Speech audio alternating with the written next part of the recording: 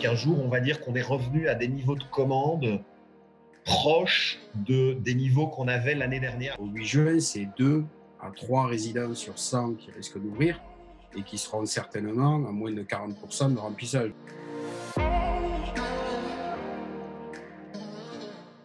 Bonjour euh, Laurent, bonjour euh, François, merci beaucoup euh, de venir partager votre vision à date de notre secteur au moment où on se déconfine, où on invite les Français à, revenir voyager dans, notre beau pays et dans vos établissements, que ce soit chez Odalis ou chez, Apart City.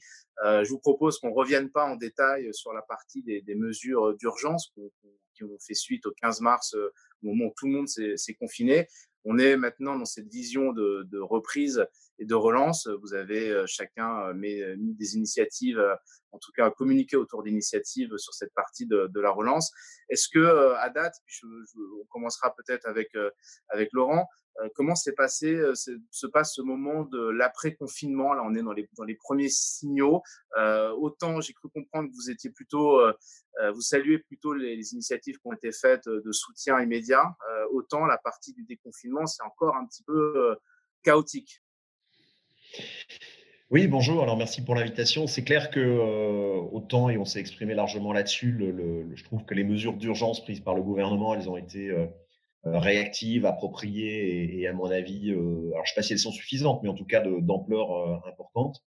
Après, c'est vrai que depuis maintenant 3-4 semaines, on, on, navigue quand même dans le brouillard complet, hein, c'est-à-dire qu'on attend chaque fois des annonces, il y en a encore demain de prévues, mais chaque fois, à la fin des annonces, c'est la déception la, plus, la plus totale, soit parce que rien n'est annoncé sur nos secteurs, soit parce que on reporte des, des précisions à, plus tard, soit parce que et on met dans un amalgame toute une série de, de, types d'hébergements qui n'ont rien à voir entre euh, des meublés de tourisme, entre euh, des résidences de tourisme, des hôtels, des campings, etc. Donc je pense que ça cafouille un peu, ça manque de cohérence euh, et ça manque de visibilité. Et, le problème pour nous, c'est que c'est un peu compliqué de se, de se projeter parce qu'on a le besoin de, bah, de, de recruter nos saisonniers, on a besoin de mettre en place nos équipes. On a besoin pour ceux qui ont des activités euh, d'animation, des activités de restauration importantes, ce qui est un peu moins mon cas.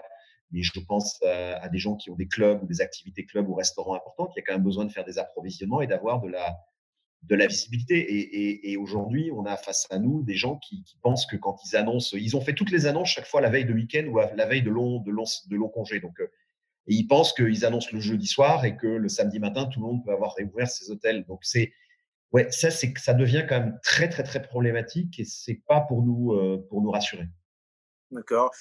François, de ton côté, euh, comment, comment ça se passe un peu cette remontée en charge au niveau de, de, l'ouverture? Tu sens que ça a frémi un petit peu ou tu as encore des, des, frustrations d'un point de vue opérationnel? Bonjour, bonjour à tous les deux. Merci également pour l'invitation. Ben, c'est vrai, comme le dit Laurent, qu'on on manque de précision. On est bien évidemment prêt, et j'ai envie de dire, euh, on l'a toujours été. Euh, on a un programme de reopening, on a fait des, on a mis en place des mesures sanitaires, on a édité un cahier, euh, des affiches, tout ce qui peut, tout ce qui a été fait par l'ensemble des, opérateurs. Aujourd'hui, on n'a pas vraiment une feuille de route sur ces mesures-là. On espère que, bien évidemment, les prochaines annonces nous permettront d'avoir plus de précision. Mais sans toutes ces précisions, c'est très délicat. Nous, on a prévu euh, d'ici euh, une dizaine de jours de, réouvrir progressivement. Euh, mais bien évidemment, nous qui sommes très tournés business, bon, sans aéroport, avec peu de trains, et puis des moins de déplacements professionnels pour à la fois faire des économies, favoriser le télétravail, les réunions vidéo, etc. Bien évidemment, tout ça n'est pas de nature à favoriser. Je pense qu'il faut à la fois des précisions pour qu'on puisse acter qu'il y a un redémarrage. Et après, euh, ce sera à nous, et on l'espère au travers des mesures, à faire en sorte que ce redémarrage, euh, il y ait les mesures nécessaires pour qu'il soit euh, réussi.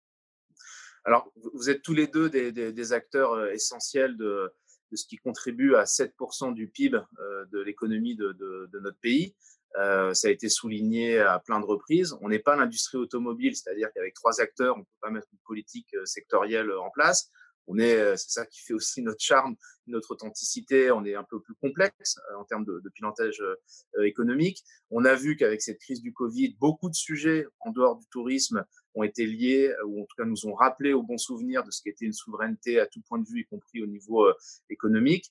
je crois que les professionnels organisés et, qui sont sur, sur peut-être une typologie d'actifs plus traditionnels, il y a quand même un vrai sujet autour de la, distribution. on sait que c'est une partie de la valeur ajoutée qui est captée et délocalisée. on sait qu'on ne peut pas délocaliser le service, mais on peut au moins délocaliser une partie de la, valeur ajoutée. vous avez des activités qui sont parfois orientées euh, moyen séjour ou long séjour qui sont très proches de ce qu'on trouve au niveau de, des acteurs de, de meublé de tourisme. Euh, c'est quoi votre vision euh, là à date? Est-ce qu'on a complètement raté l'opportunité de remettre un petit peu les pendules à l'heure et de rééquilibrer les règles du jeu avec ces, ces acteurs-là? Laurent, comment tu vois cette, cette partie? Alors le sujet, le sujet, il est un peu complexe. C'est que à partir du moment où on attire de la clientèle étrangère, alors moi dans une vision beaucoup plus euh, touristique que, François, euh, mais on a tous les deux une part de clientèle étrangère qui est importante. Je pense que de, faire appel à, que ce soit plus ou moins digital, plus ou moins intégré, plus ou moins des grosses structures, de faire appel à des partenaires extérieurs pour faire de la distribution, je pense que ça, ça a toujours existé, ça existera toujours. La volonté des entreprises, et même avant la, crise Covid, mais ça va à mon avis s'accélérer dans le futur, c'est effectivement de, continuer à investir massivement pour développer euh, des plateformes qui peuvent prendre un maximum de commandes, de commandes en direct. Le problème, c'est que c'est excessivement coûteux. Euh, ça nécessite d'avoir des entreprises, euh, et je pense que les entreprises comme, comme, comme les deux nôtres commencent à avoir des tailles critiques pour, je dirais, mettre les investissements informatiques qui vont bien. Le problème pour les plus petites structures, c'est de pouvoir se mettre ces investissements qui souvent sont des coûts fixes pour avoir telle et telle, telle et telle option. Donc, un, c'est très coûteux. Deux, d'aller en direct, c'est de plus en plus euh, important. Moi, ce qui m'a un peu choqué dans cette, dans cette crise, c'est effectivement que euh, nos plateformes, euh, et, la plus connue d'entre elles, qui, est, qui est Booking, je trouve ils n'ont pas totalement joué le jeu par rapport notamment au remboursement versus les avoirs, par rapport à des incentives d'aide aux commissions, par rapport au fait que on a toute cette question de qui paye ses impôts à quel endroit. Et au fond, ben aujourd'hui, ils sont tous en train de se poser la question des, de restructuration locale. Je pense aux annonces qui ont été faites par euh, notamment Airbnb, mais c'est le cas pour, euh, pour, Booking. Donc il y en a d'autres qui ont joué le jeu, il faut quand même les, reconnaître. Moi, je suis pas mal dans le business du, euh, ski. Et c'est vrai que les tours opérateurs qui amènent des clients étrangers ou hollandais, je pense, et je vais le citer parce qu'ils ont joué un, jeu vraiment bien, des gens comme Sunweb par exemple, bah, c'est des gens, ils ont compris, on a trouvé un accord, on a fait du 50-50 et, et voilà, même si euh, voilà le, sujet n'était pas hyper euh, ni blanc ni noir, on a, on a trouvé les accords. Donc il ne faut pas tous les mettre dans le même panier. Euh, il y en a qui se projettent sur plusieurs saisons et de la collaboration avec nous à plus long terme. Moi, ce qui m'inquiète à très court terme pour, pour, pour mon secteur, c'est qu'il y a beaucoup de ces tours opérateurs très monoproduits, type le ski, type l'été, etc., qui sont très fragilisés, qui risquent de ne pas réouvrir soit cette, cette saison, parce qu'ils vont faire le calcul de, de se dire il vaut peut-être mieux réouvrir que la saison d'après, et donc d'avoir euh, un reach pour aller chercher du client, du client étranger qui sera pas là. Donc on risque d'avoir un manque de relais de distribution, et puis d'autres qui vont simplement disparaître et qu'il faudra bien remplacer à un moment. Et si ça, ça repart chez des, des, les, gros, les grosses agences, ça, ça m'embête un tout petit peu. Donc c'est un sujet qui est excessivement complexe dans le tourisme en tout cas. Bah, merci en tout cas de saluer euh, ceux qui jouent le jeu et de, et poser le débat. On voit que c'est un vrai impact quand même sur, sur vos business. François, de ton côté, les, enjeux de la distribution et euh, on parlait un peu de concurrence euh, déloyale à certains moments. Est-ce que c'est des sujets qui t'inquiètent au moment où on va déconfiner puis essayer de faire la reconquête hein, C'était appelé par Edouard Philippe. On va faire la reconquête du secteur. Est-ce qu'on fait la reconquête avec un, boulet accroché au pied ou comment ça va se passer? Tu le disais, Vangelis, tout à l'heure, c'est-à-dire qu'on sait euh, à certains moments faire des annonces euh, et euh, par le premier d'entre nous, par le président, sur des secteurs qui sont certainement beaucoup plus simples à, aider, à, normer, etc. Nous, on est toujours un petit peu, euh, comme Laurent le précisait, on est résidence de tourisme, il y a les hôtels, il y a etc. Il y a divers, euh, divers modes d'hébergement qui font que tout de suite, l'État a plutôt tendance à lever le pied en disant c'est difficile de légiférer, c'est difficile de mettre notre nez là-dedans, donc on préfère les privés se débrouiller entre eux, sauf qu'au final, on a certainement raté auprès des plateformes notamment et certaines, en plus particulièrement, on a raté de leur faire payer des impôts à un moment. On est peut-être en train de rater au travers notamment des mesures sanitaires, des taux de commission, etc je pense qu'on a une belle opportunité là en ce moment de dire à un moment, à la fois il y a la relance, à la fois pourquoi des opérateurs comme chez Laurent, comme chez nous et comme chez d'autres, on met en place des mesures sanitaires qui sont extrêmement coûteuses, où on veut préserver la santé de nos collaborateurs et de nos clients, euh, où sont les mesures, ou comment est-ce qu'elles sont appliquées, euh, notamment au travers de ces plateformes? Il n'y en a pas à aujourd'hui. Il y a quelques communications, mais c'est vraiment très light. Et on va se retrouver effectivement où, nous, on est à des tailles critiques, mais on, peut toujours un petit peu se battre et investir sur nos outils. Euh, L'indépendant demain va se retrouver dans une situation où il avait l'impression d'avoir un peu euh, la main sur son épaule et l'obligation de passer par des plateformes. Je pense que à la reprise, ça va être pire. Il va avoir une main sur chaque épaule. Mmh. il y, a un momentum pour faire changer les choses, mais pour l'instant, vous n'avez pas le sentiment qu'on le saisit euh, à bras le corps. Bon, on va voir comment ça va dans les prochaines semaines et j'espère qu'on aura les moyens de nos ambitions et l'ambition de nos moyens, mais surtout le, surtout l'inverse. là, vous avez réouvert à la réservation. Comment ça, ça se passe, les, les, les ramp-up un peu? Est-ce que vous pouvez partager avec nous à date Vous êtes plutôt en ligne avec ce que vous aviez prévu? Rien d'euphorique, j'imagine, mais euh, où est-ce qu'au contraire, il y a quelques petites bonnes surprises? Vous sentez que le marché euh, réagit plutôt, euh, plutôt positivement. Laurent, du côté de Odéali, vous avez fait une pub très sympa du, déconfinement pour se libérer. Alors, c'est pas la Reine des Neiges, mais on n'est pas loin avec les enfants. Ça, ça fonctionne comment à date? Ce que tu, tu peux partager avec nous? Il y a une dynamique? Bah, il y a eu deux sujets. Il y a eu, il y a eu le sujet du jeudi de l'ascension où on a voulu passer un petit peu entre les gouttes, alors en étant complètement sécurisé d'un point de vue juridique et d'un point de vue sanitaire, pour lancer un peu la saison et puis provoquer un peu la réaction de tout le monde, y compris des pouvoirs publics. Hein, donc, c'était pas l'idée de faire un énorme chiffre. Et en plus, c'est marrant parce que ça a dû embêter certaines personnes parce qu'on a eu un arrêté jeudi matin qui nous a empêché de, continuer le jeudi de l'ascension. Donc, euh, les clients sont arrivés, on les a délogés dans des hôtels ou dans des Airbnb. Donc, on a, on a fait le tour du, du débat sur la question précédente. Donc, voilà, ça c'est dit. Euh, non, après sur le sur le, la relance, on est quand même dans un secteur. Il faut il faut faut pouvoir en rire un petit peu, mais c'est quand même euh, c'est quand même poker menteur. C'est-à-dire tout le monde raconte toujours un petit peu euh, un petit peu tout ce qu'on veut. C'est-à-dire que pendant toute la saison, tout le monde dit toujours ça va super bien. Et quand on fait les comptes à la fin, on se rend compte que c'est un peu différent. Donc moi, je vais avoir un discours de, de, vérité, c'est-à-dire qu'on a vu euh, sur après les annonces du, gouvernement sur le fait que les, Français pourraient repartir en vacances, on a vu pendant deux trois jours un, pic de, de, commandes vraiment très impressionnant. On était on était sur des, des niveaux très élevé à 3, 400, 500, 600% par rapport à ce qu'on avait vu les semaines d'avant. Sur à peu près rien du tout, ça fait pas grand-chose, même si nous, on avait quand même encore un, petit filet d'eau. Euh, ensuite, la, tendance maintenant, depuis 15 jours, on va dire qu'on est revenu à des niveaux de commande proches de, des niveaux qu'on avait l'année dernière. Alors, je parle pas de, du, business qu'on a en commun avec, euh, pas en commun, mais sur le même secteur avec François sur le, sur le business affaires qui est, qui est chez nous encore quasi à l'arrêt. Je parle vraiment du tourisme où c'est reparti, mais pour être franc, on, creusait notre tombe jusqu'à il y a 15 jours. Là, on est revenu à des niveaux normaux, donc c'est-à-dire que le, le trou n'est pas en train d'être comblé, donc on n'est pas sur des niveaux très nettement supérieurs à l'année dernière. Euh, on est revenu sur des tendances. Donc je pense que ce qui va vraiment déclencher tout ça, ça va être l'annonce sur les 100 km, à combien elle passera et à partir de quand elle sera euh, plus, plus ouverte, beaucoup plus d'ailleurs que l'ouverture des frontières parce que pour des, euh, des, résidences de tourisme, on est quand même beaucoup plus dépendant d'arriver en voiture de Français. Donc moi, les, touristes étrangers, j'ai un peu fait ma croix, euh, j'ai un peu fait la croix dessus pour, euh, cette saison. Ouais. C'est sûr, ce sujet des 100 km, de toute façon, on n'imagine même pas qu'il peut avoir une relance quelconque sans, la levée de cette, barrière-là. Côté euh, Apart City, François, comment, comment ça se passe là, à date Comment vous voyez un peu? Alors, vous, vous aviez un petit filet sur du très long séjour, j'imagine, mais sur le reste du business traditionnel? Nous, en fait, effectivement, on a fermé l'ensemble de nos établissements, sauf qu'on a conservé les personnes qui n'ont pas pu, euh, suite au confinement, rentrer chez eux. Je pense à des Italiens, des Grecs, etc., des, euh, des, des, gens venant de, notamment de l'étranger sur des missions dans les entreprises et qui se sont retrouvés avec la fermeture des frontières à devoir rester. Bon, euh, ça représente moins de 2% du chiffre d'affaires. Hein.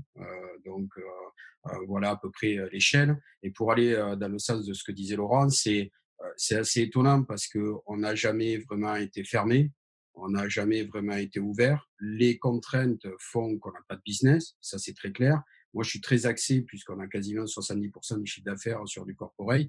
Donc, ça veut dire qu'aujourd'hui, entre les 100 km, les entreprises qui veulent faire des économies, euh, le, le, télétravail, etc., etc., etc., les aéroports fermés et tout ça, bien évidemment, cette partie-là, elle n'est pas du tout repartie. je pense qu'il faudra plusieurs semaines, voire plusieurs mois pour qu'elle reparte. Une fois qu'on sera totalement déconfiné, totalement déconfiné, ça veut dire qu'il euh, y aura des avions en lit. Euh, moi, je prends l'exemple, le siège est à Montpellier, il y a deux avions par semaine pour aller à Paris. Euh, D'habitude, il y en a 10 par jour. Donc, ça donne un ordre d'idée. Il y a 20 000 personnes qui travaillent en ce moment à la Défense sur 180 000. Ça donne une idée de notre business, nous. Euh, et après, sur la partie tourisme et le redémarrage des réservations, c'est vrai que euh, Odalis a un petit peu, un petit peu secoué, euh, secoué tout le monde en disant on va lancer, on va provoquer, etc. Euh, on a ce décret qui est tombé, qui est totalement, totalement incompris, euh, qui vient confirmer qu'on ne pouvait pas bosser avant. Ça a au moins cet avantage-là, ça c'est clair, mais qui euh, par contre vient perturber. Du coup, nous, on a réouvert les ventes. On avait réouvert, on avait fait le choix de laisser les ventes ouvertes et de checker au fur et à mesure en fonction des annonces, des mesures sanitaires. Donc, on a donné la priorité aux mesures sanitaires. On a écrit un book, on l'a validé à notre CSE, on l'envoie auprès des équipes, on envoie le matériel nécessaire et on s'est dit à partir du moment où on a tous les éléments nécessaires, à ce moment-là, on ne s'interdit pas de réouvrir. Alors, euh, à Nantes, on va pas ouvrir les sept établissements ou à Toulouse les neuf. On va en ouvrir un, puis on va en ouvrir deux, et puis on va voir si ça frémit au niveau loisir.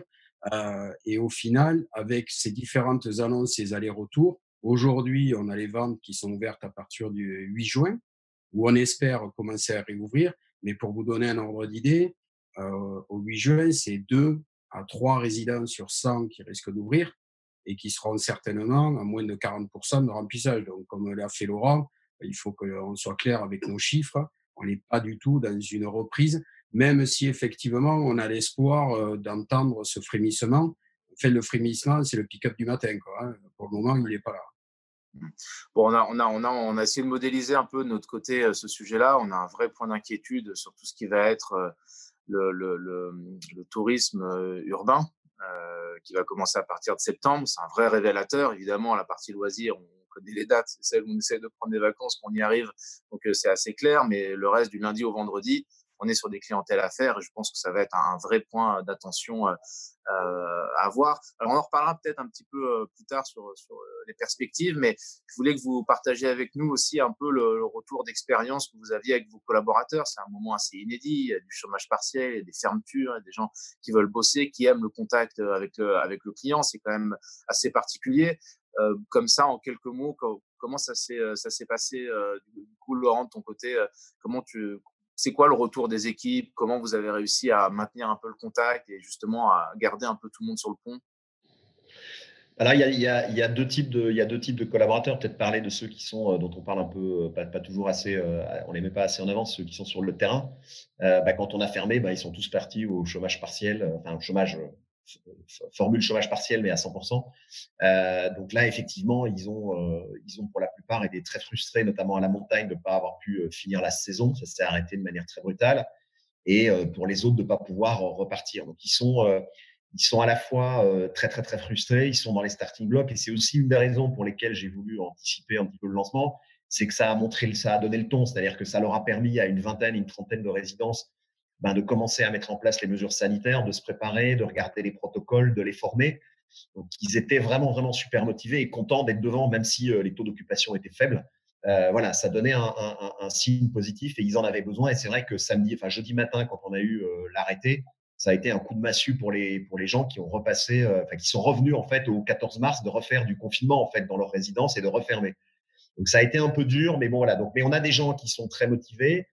Le petit souci qu'on a, ça va être quand même de, de, tous nos saisonniers euh, et nos extras euh, pour la saison. C'est-à-dire, est-ce qu'ils vont être là, pas là? Est-ce qu'ils vont faire le pari de venir bosser quand même ou pas? Et dans quel type de, business? On ne sait pas. Pour l'instant, c'est très compliqué.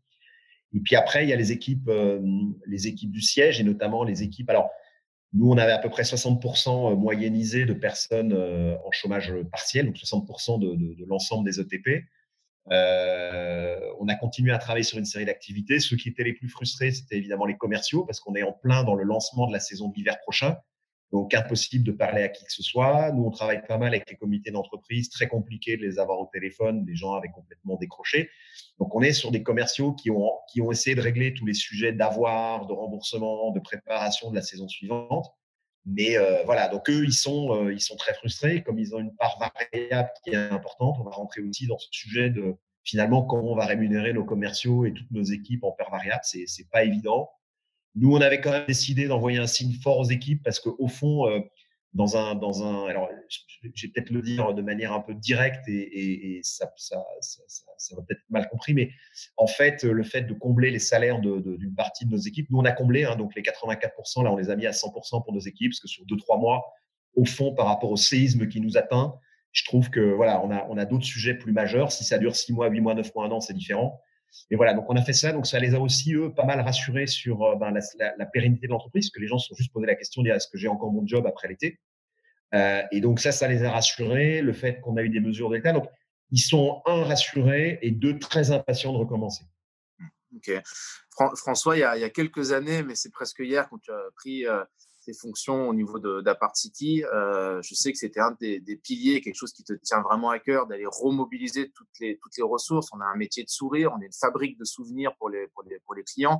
Je sais que vous avez fait un, travail énorme euh, pour, remettre euh, l'humain au cœur, mais le collaborateur au, cœur de, du projet de l'entreprise. Quand on fait face à cette situation, bah, du coup, voilà, comment ça s'est passé aussi de votre côté?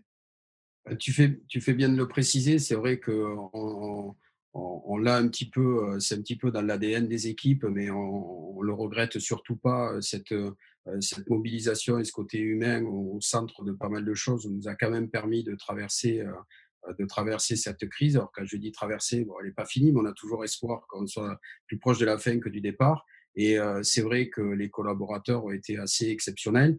Euh, bon, comme c'était dit précédemment par Laurent, il faut, enfin, il faut imaginer quoi, le jour où on appelle ces équipes en expliquant qu'il faut tout fermer, euh, qu'il faut presque mettre les clients dehors, qu'il faut se sécuriser, qu'en même temps il faut presque éviter de se parler, etc., etc.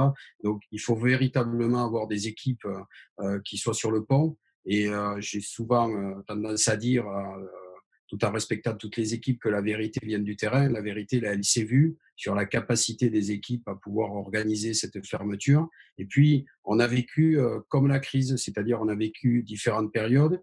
Puis, il y a eu un moment où il y a eu cette inquiétude de dire est-ce que euh, est-ce qu'il va y avoir des suppressions de postes hein euh, Est-ce que euh, je vais euh, je vais garder mon salaire, les, les tickets restaurants, des choses comme ça. Donc, on a pris on a mis en place pas mal de mesures pour euh, rassurer et conforter, pour expliquer aux équipes que on s'était, euh, on s'organisait pour bien évidemment à la fois garder tout le monde et en même temps pérenniser, pérenniser leur emploi. C'est vrai que là, on est dans une phase où il y a un petit peu plus d'inquiétude, on le ressent au niveau national, c'est pas uniquement chez nous, parce que les, les, tout le monde est en train de se rendre compte que le redémarrage risque d'être presque aussi violent que ce qu'a été euh, le confinement. Euh, c'est là où ça va tomber dans tous les sens. On le voit, hein, tous les jours, il tombe euh, des entreprises. De...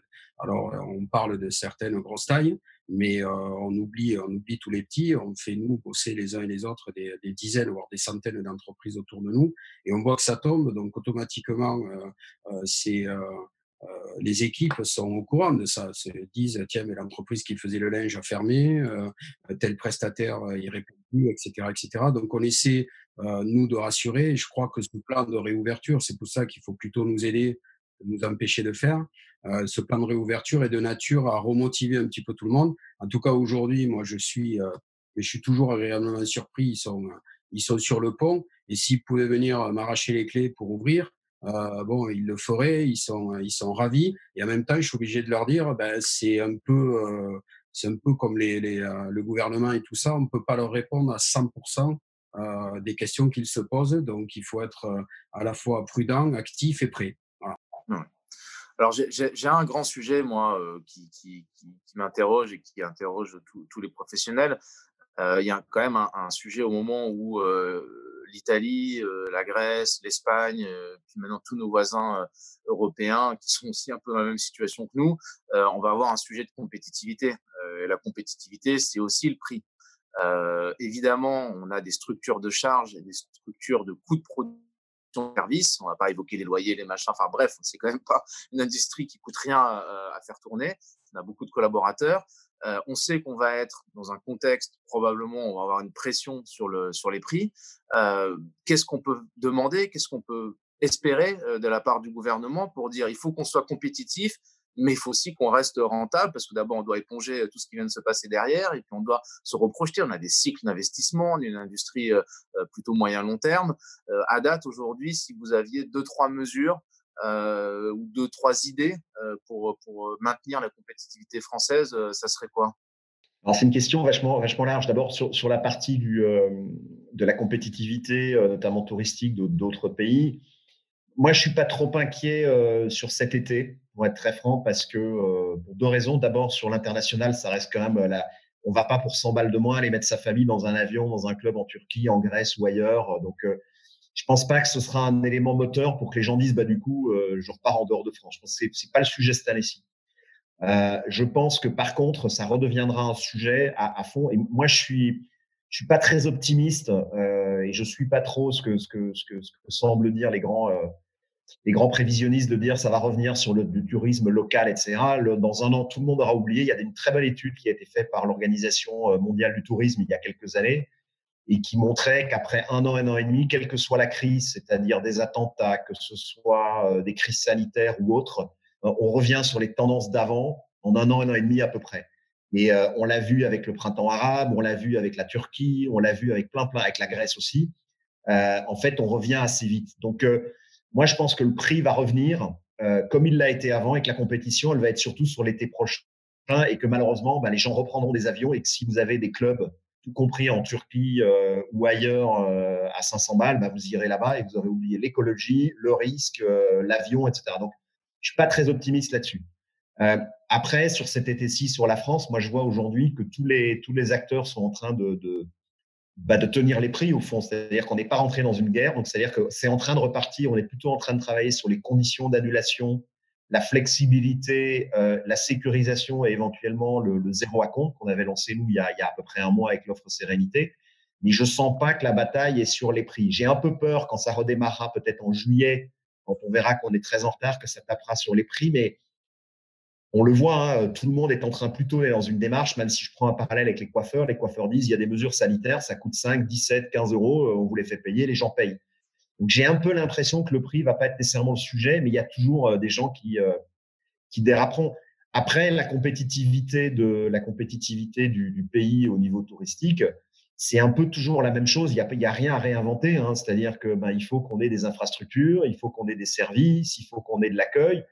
Et puis fondamentalement, il y a un sujet, moi, ce que, que, que je pousse depuis euh, depuis que, je suis dans ce secteur, c'est qu'il faut d'abord qu'on ait un ministre du tourisme et puis surtout qu'on arrête de résumer le tourisme aux Chinois qui viennent à Paris et aux Espagnols, qui enfin aux Français, qui enfin aux Belges et Hollandais qui traversent la France pour aller en Espagne en vacances.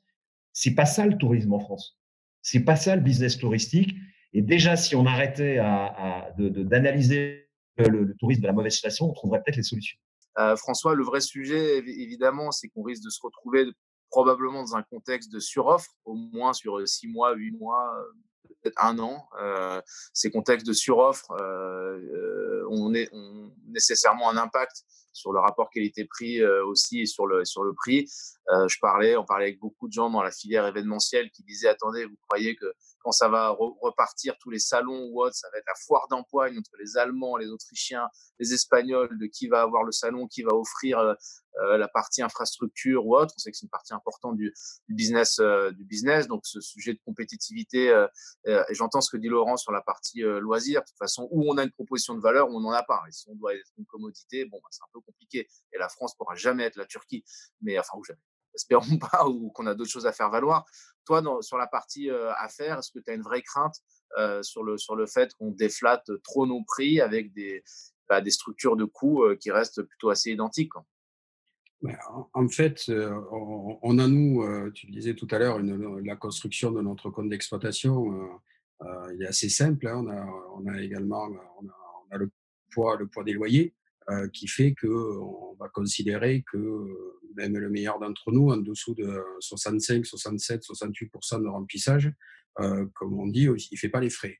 Donc, ça veut dire que moi, je crois, et tu posais la question sur des mesures, euh, je crois que les mesures, il y a assez de, de personnes euh, câblées, cérébrées pour, faire, pour avoir des réflexions et faire des études.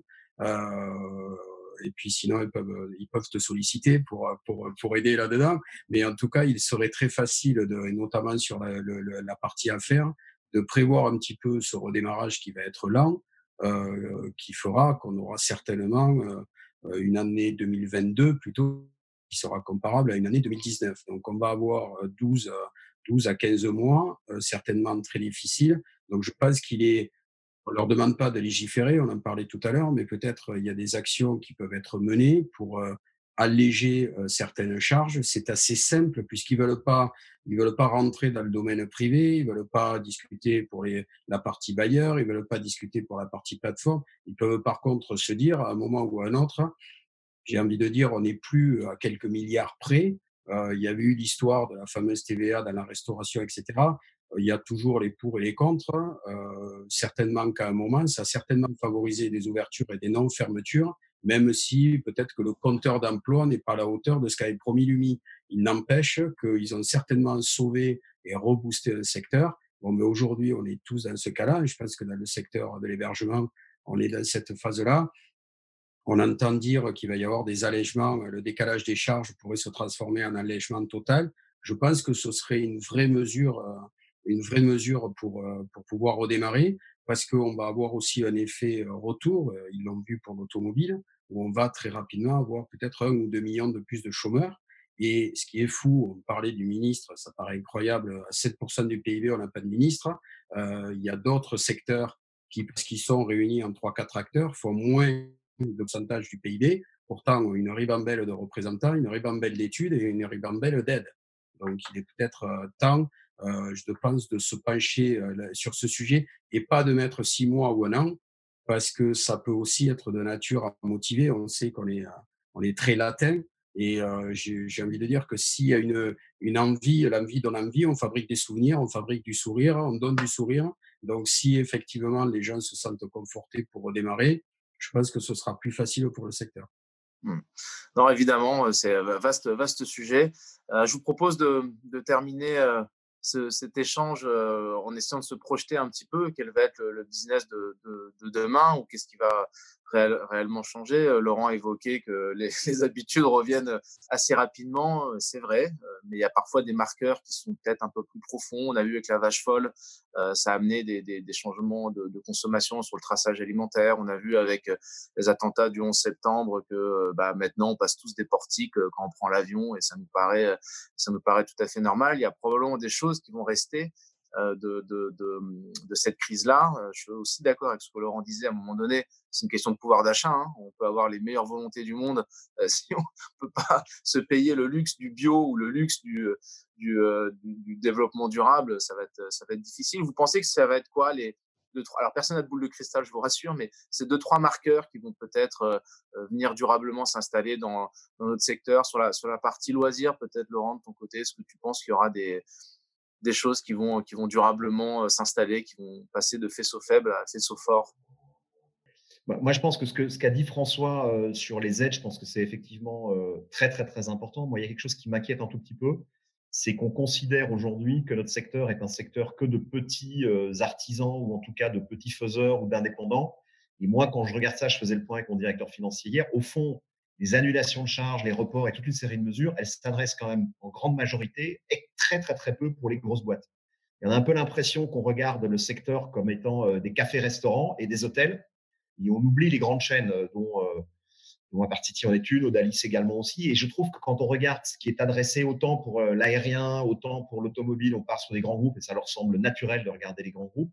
Autant je trouve que ces grosses entreprises, qu'on appelle des grosses PME, peut-être en France, elles sont quand même naturellement pas dans, la, dans les gènes, euh, contrairement à l'Allemagne, et encore moins dans le secteur du tourisme. Et, ça, ça m'inquiète un tout petit peu parce que euh, à la fois le secteur est mal regardé, mal analysé, et, dans ce secteur, il y a des amalgames sur les tailles aussi qui me semblent importants. Donc, euh, c'est un petit point que je voulais rajouter parce que ça m'inquiète un tout petit peu. On peut espérer hein, qu'il y ait des choses qui, qui, euh, qui changent. Moi, moi, je reste quand même assez, euh, malheureusement, assez sceptique. Alors, je veux bien, je veux bien être optimiste si, si, si, si, ça fait évoluer le débat dans la bonne, dans la, dans la bonne direction. Moi, moi je, constate un point qui, qui me semble juste important, c'est qu'on parle de la crise qu'on vit aujourd'hui, mais si on regarde un tout petit peu le, le, le passé, on a quand même entre les attentats d'un côté, euh, toutes les crises politiques qu'on a eues dans des lieux de destination. Et puis surtout, on a tendance à l'oublier, on a quand même eu euh, la faillite de Thomas Cook, on a eu des milliers de clients bloqués pendant des semaines à l'étranger ayant perdu des sommes folles. On a quand même eu l'année d'avant Ryanair qui, comme ça, d'un coup d'un seul, a dit on annule 10 000 vols en Europe et parce qu'on n'a pas assez de pilotes, et puis tant pis, vous avez qu'à rester où vous êtes et on ne vous rembourse pas.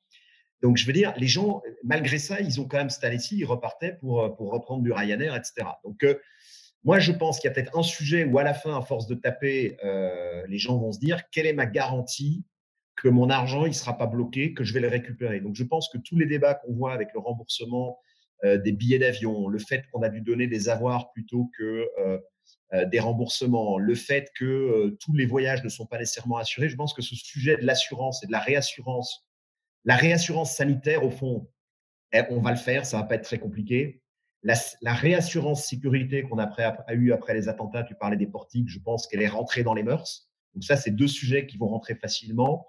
Je pense qu'il y a un sujet qui est plus compliqué, qui a un impact économique, c'est la réassurance économique. Je pense que le client a tendance à oublier. Je pense que ça, c'est un vrai sujet qu'il faut aborder bah, pour que les gens ils puissent réserver suffisamment tôt, qu'ils deviennent un peu moins euh, promo-driven euh, et qu'ils puissent s'engager même quand il y a une part d'incertitude. Parce que l'incertitude, quand les clients ne réservent pas, elle coûte très, très, très cher au secteur. Donc, tout ce qu'on pourra prendre comme mesure et inciter le client à, voilà, à y aller en se disant, de toute façon, si je pars pas, je serai remboursé, ça aiderait tout le monde. Et ça, c'est peut-être un marqueur fort euh, à la fois en termes d'offres de la part des hébergeurs et des pouvoirs publics et peut-être en termes de demande de la part du client. Peut-être c'est un sujet qui pourrait évoluer si on veut, euh, si on veut se donner un peu de perspective. Tout à fait. Très bon sujet, l'environnement juridique. Je pense que c'est une piste à, creuser qui est, assez important. François, de, ton côté, qu'est-ce que tu vois dans ton business qui va, qui va peut-être rester euh, euh, dans deux, trois ans, qui sera encore là et, qui sera né euh, de ce Covid? Je pense effectivement que l'assurance est un vrai sujet à la fois pour les clients, mais également pour nos entreprises, parce que, parce que finalement, bon, les assurances sont bien, bien échappées du sujet en disant tout de suite on n'est on n'est pas concerné, etc. Donc peut-être qu'à un moment ou un autre, comme on l'a vu, euh, comme on l'a vu pour les attentats, comme on l'a vu pour d'autres sujets, peut-être euh, euh, va peut-être naître et se constituer une augmentation pour l'ensemble des Français pour permettre de constituer certains fonds, etc., pour que la perte d'exploitation soit peut-être soit peut-être étendue. Après, je suis assez d'accord sur le fait que on revient souvent, on revient souvent aux origines. Donc peut-être il restera un petit bout de mesures sanitaires. peut-être que ça va faire réfléchir sur certaines mesures sanitaires. Peut-être que comme on le voit en Asie depuis pas mal d'années, euh, ben, on croisera un petit peu plus euh, euh, des personnes avec, avec, un masque, avec un masque dans les rues. En plus, on est un pays très touristique, donc on va être mixé, on va, on va peut-être en boire plus qu'auparavant. Après, qu'est-ce qui va rester On parle beaucoup du télétravail. le télétravail, bon, ben, c'est effectivement, ça peut être pratique. Je crois pas. Nous, on est vraiment dans des euh, dans des métiers où le service il est, il est avant tout humain, quoi. Hein. Il est pas, il pas, il pas par, il passe pas par un câble. Euh, donc, euh, bien évidemment, il en restera certainement un petit peu. Est-ce que demain, et notamment toutes les visios vont faire que certaines personnes vont moins se déplacer? Je pense qu'il y aura une fois, en tout cas, ça va être le cas. Et c'est pour ça tout à l'heure que je parlais d'une relance longue. ça va être le cas parce qu'effectivement, euh, les gens vont moins se déplacer. Après, si tout le monde est rassuré, si notamment il y a un vaccin, etc., je pense qu'on reprendra nos habitudes et il en restera certainement un petit pourcentage qui dira, moi je vis, euh, je vis avec, mais euh, bon, euh, pour le moment, ça reste un petit peu, vous parliez tous les deux du, bio, etc., ça reste un peu un schéma d'opportunité. Est-ce que ça va s'ancrer pour autant? En tout cas, ça va être long. ça va être long et moi je pense que peut-être sur les, modes de consommation, on a mis en place des box petit déjeuner, euh, un petit peu plus de vente à emporter parce qu'on ne peut pas réouvrir nos restaurants. Euh, donc, on est en train de prévoir tout ça. Bon, euh, si ce côté-là est un petit peu poussé, bon, il faut qu'on ait des clients pour. on sera, on sera au rendez-vous puisqu'on a l'avantage d'avoir tout ce qu'il faut dans nos, dans nos chambres pour pouvoir, pour pouvoir répondre à cette, à cette attente. Écoutez, en tout cas, merci beaucoup d'avoir partagé à date votre situation. On pourrait évidemment en parler des heures parce qu'il se passe tellement de choses en ce moment. merci d'être à la manette, de, de contribuer à, à faire, en tout cas essayer de faire renaître et repartir à la reconquête de, de, notre secteur. je pense qu'il faut des, faut des capitaines d'industrie et, et, merci beaucoup de, de, dégager toute cette énergie, d'emporter tous vos collaborateurs avec vous là-dessus. Et puis, écoutez, j'espère qu'on fera un bilan ensemble de la saison et, et, et qu'on chaque fois on allumera un petit signal vert euh, pour dire qu'on est en train de, de reprendre le, le, bon chemin. Merci beaucoup à vous, merci, prenez soin de vous. Merci. Allez, merci. Merci à vous.